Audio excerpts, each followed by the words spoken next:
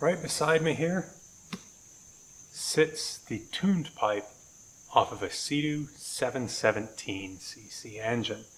Now these have an inherent flaw. This one core plug, which is not a freeze plug, as some people mistakenly refer to it, it's a core plug. It's used for the casting when these are cast out of the aluminum.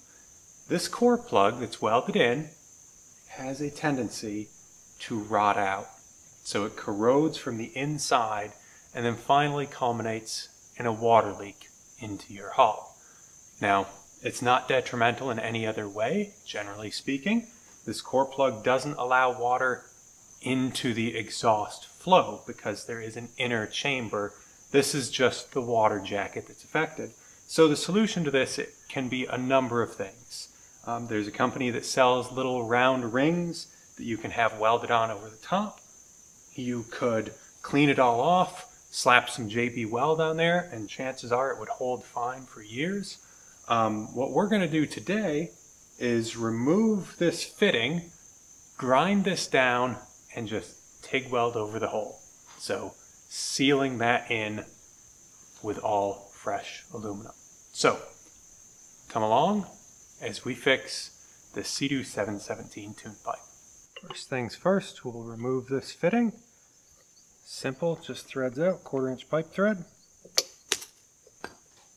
We'll drop it in the driveway. And then we'll set that aside somewhere else.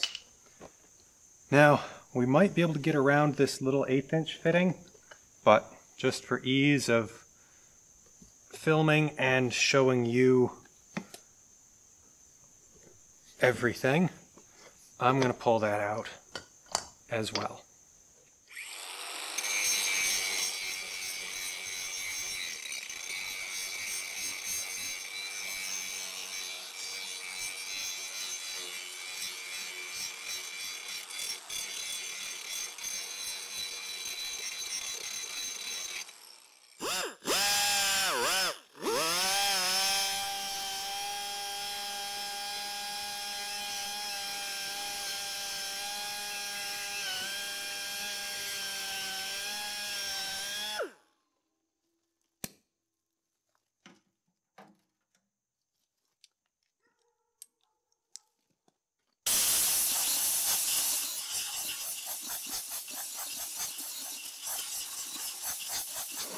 We don't want there to be any contamination with water or anything, so I'm just going to preheat the area to make sure that any water that could have got into aluminum, because aluminum is oddly porous sometimes, especially in cast parts like this.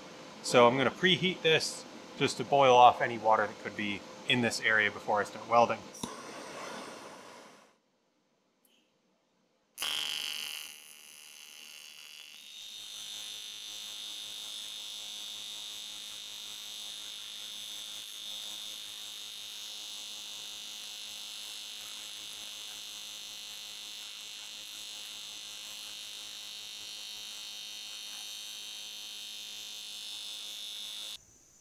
Okay, so I'm certainly no welder, but here's what we've ended up with. Now, there's a few things that always confuse me about aluminum, is sometimes it seems to get like random contamination, and I don't know why. Again, I'm not a welder, but usually stuff holds, it works, it doesn't leak, so there's what we're left with. Now, I made a little tower here in the middle, because when you let off the pedal, aluminum tends to like sink in.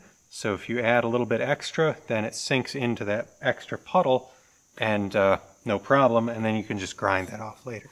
So I'm going to clean this up with a stainless steel wire wheel, which I've only ever used this on aluminum. So I don't think that's contaminating anything. I don't know. We'll clean it up a bit and uh, see how it looks.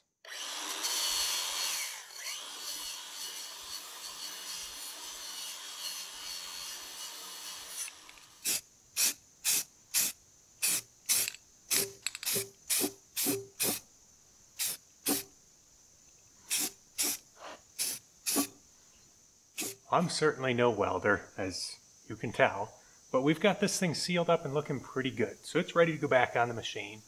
And Now maybe you don't want to go out and buy all the equipment that I've got over here, which if you do, it's listed in the description below, but this also shows you what you need to know about getting it done.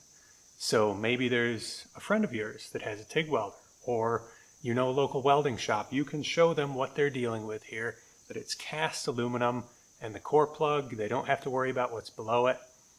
This would be something that you could use to show somebody else who knows what they're doing what needs to be done.